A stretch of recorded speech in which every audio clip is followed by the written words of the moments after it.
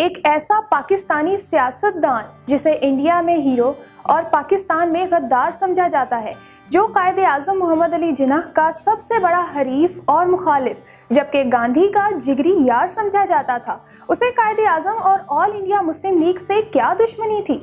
Indian national Congress की गोद में बैठकर इकतदार इंजॉय करने वाले बादशाह खान की शख्सियत में आखिर ऐसा क्या था, जिसे अवाम से छुपाया जाता है? क्या वाकई सरहदी गांधी के नाम से मशहूर बादशाह खान, कायद अजम मोहम्मद अली जिना मोहनदास गांधी, मौलाना अब्दुल कलाम आज़ाद के लेवल के रहनुमा थे या फिर उनके नाम लेवा सिर्फ़ मुबालगा अराई करते हैं?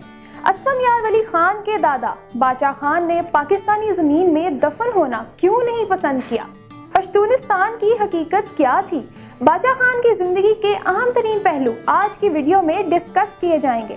पाकिस्तानी तारीख के मशहूर पार्लियामेंटेरियंस की बायोग्राफी सीरीज़ की किस नंबर चार में खुश और मैं हूँ अथरूबा रजा।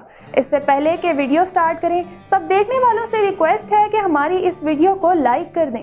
अगर पहली बार हमारे चैनल पर आए हैं तो इसे सब्सक्राइब करें और बेल आइकन वाली घंटी लाजमी दबा दें, ताकि हमारी नई वीडियो सबसे पहले आप ही को मिल सकें।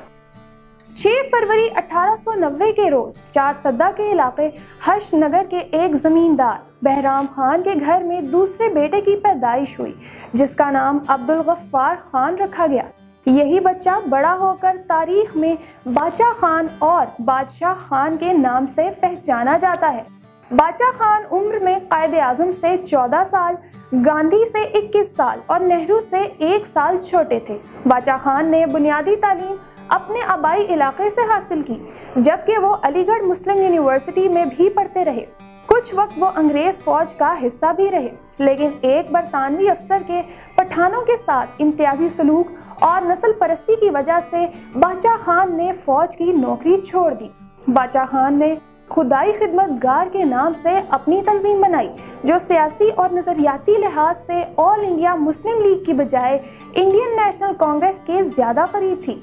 खुदाई खिदमत गार के कारकुनान उस दौर में लाल रंग की टोपियाँ पहना करते थे। लिहाजा खुदाई खिदमत गार तंजीम को सुर्ख पोश भी कहा जाता है। यही सुर्ख पोश आज भी अवामी नेशनल पार्टी की शक्ल में मौजूद है और ए के जलसों में ज़्यादातर लोग सुर्ख रंग की टोपियाँ पहने नज़र आते हैं। बादशाह खान गांधी के करीबी साथियों में शुमार होते थे। उनकी सियासी जिद्दोजहद का मरकज इंडियन नेशनल कांग्रेस थी। बड़े सगीर की तारीख में जैसे अमृतसर के जलियांवाला बाग सानहा को आज भी याद किया जाता है। इसी तरह से 1930 में होने वाले किस्सा खानी बाज़ार पिशावर के सानहे को भी नहीं बुलाया जा सकता है। इंडियन नेशनल कांग्रेस जब बरतानवी साम्राज्य के खिलाफ तहरीक सिविल नाफरमानी चला रही थी तो पिशावर में ना सिर्फ़ बादशाह खान को गिरफ़्तार कर लिया गया, बल्कि अंग्रेज़ सरकार ने खुदाई खिदमत गार के कारकुनान पर डायरेक्ट फायर किए, जिसके नतीजे में 200 से ज़्यादा लोग मौके पर हलाक हो गए।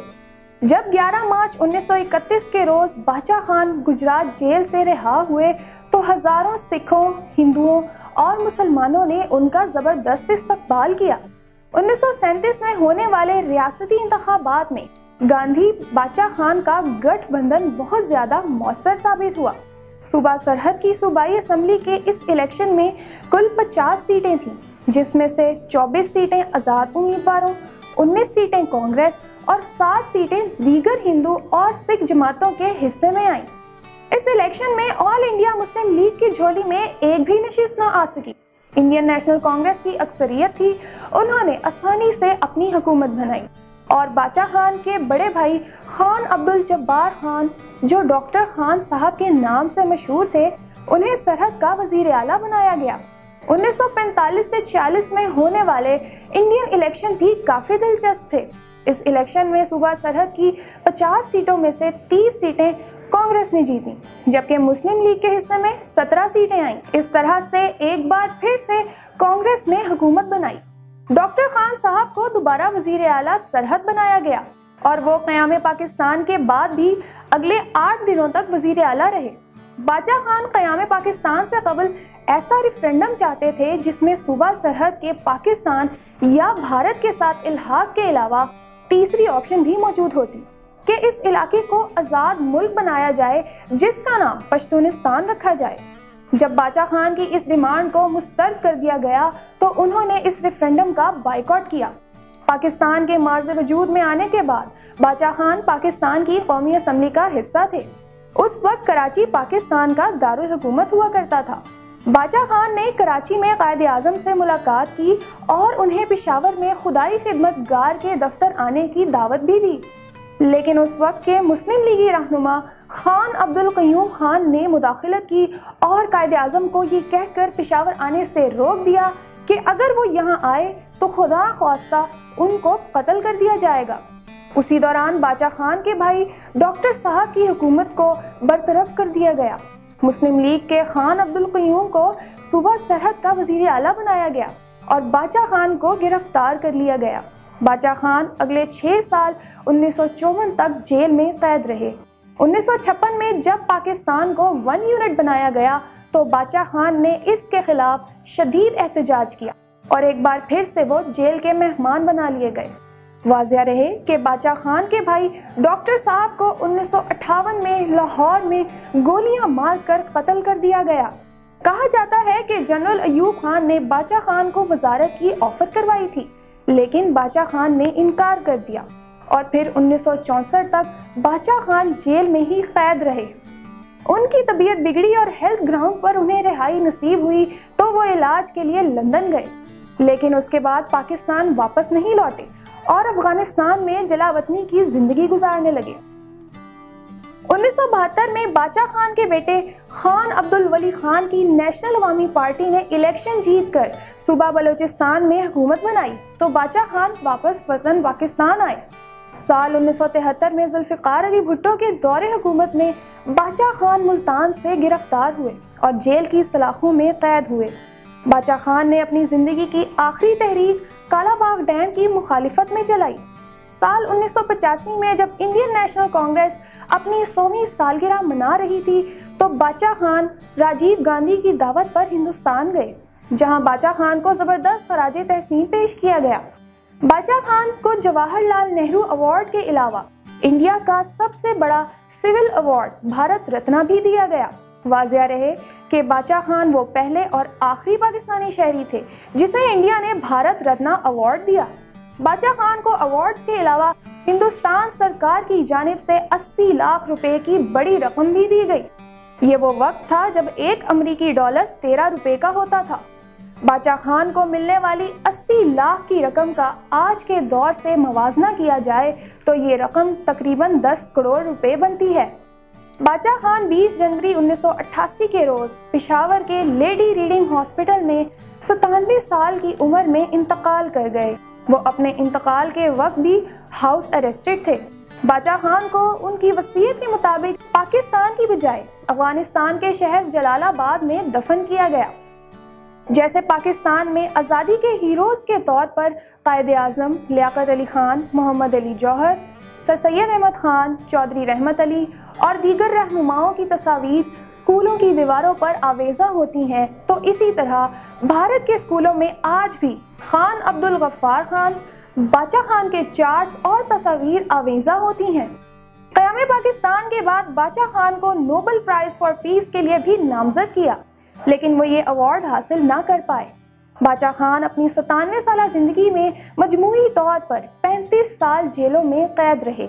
अफ़गानिस्तान में बाचा खान की सियासी और समाजी खदमात के सिले में 2010 का साल बाचा खान से मंसूब किया गया था।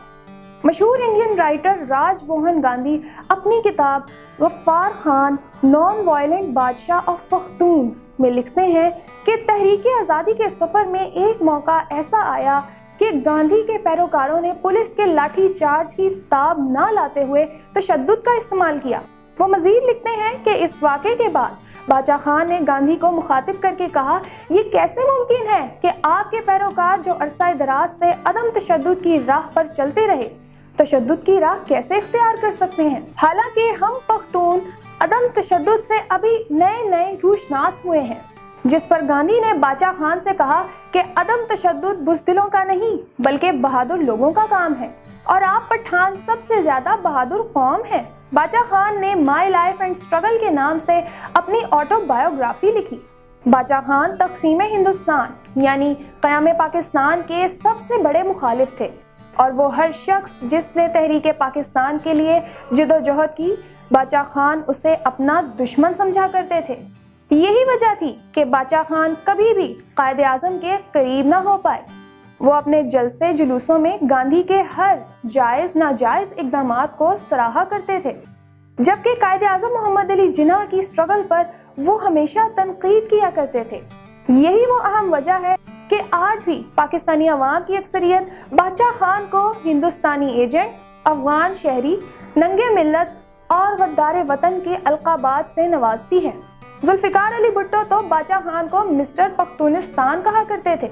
बाचा खान के तीन बेटे और दो बेटियाँ पैदा हुए बाचा खान के बड़े बेटे खान अब्दुल गनी खान मशहूर लिखारी, पश्तो शायर मुसविर और सियासी शख्सियत थे। बाचा खान के दूसरे बेटे खान अब्दुल वली खान पाकिस्तानी सियासत की कदावर शख्सियत थे, जो कई मरतबा कौमी असम्बली के रुकन के अलावा लीडर ऑफ़ द अपोजिशन भी रहे। जबकि बाचा खान के छोटे बेटे खान अब्दुल अली खान माहिर तालीम थे, जो पाकिस्तान के नामवर तालीमी इदारों और यूनिवर्सिटियों के सरबराह रहे। बाचा खान के दूसरे बेटे खान अब्दुल वली खान की औलाद इस वक्त बाचा खान के फलसफे और नजरियात की वारिस है। वली खान के बड़े बेटे असफन यार वली इस वक्त अवामी नेशनल पार्टी के सरबराह हैं। वली खान के छोटे बेटे और असफन यार के सोतेले भाई संगीन वली खान भी सियासत में अहम मुकाम रखते थे। I hope that you have liked this video. Do comments and keep sharing this video. And don't forget to subscribe election box. Thanks a lot. Allah Hafiz Nasir.